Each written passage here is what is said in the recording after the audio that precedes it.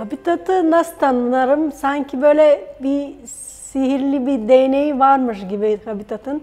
Herkese, her kesimden çocuğa, kadına, herkese bu sihir değnek, değnekle bir dokunuyor. Yani hayatlarını değiştiriyor. Yani benim hayatımı nasıl değiştirdi? Yani işe başladığımda yani sanki işe gelmiyormuşum gibi böyle koşa koşa geliyorum. Evet ev, evdekiler dediği gibi annem diyorlar hiç hani mesafe şey de olsa koşa koşa gidiyor diyorlar. Yani çok mutlu yerinden diyorlar. Onlar bile hissediyor yani evdekilerine bile ama hissi veriyorum yani.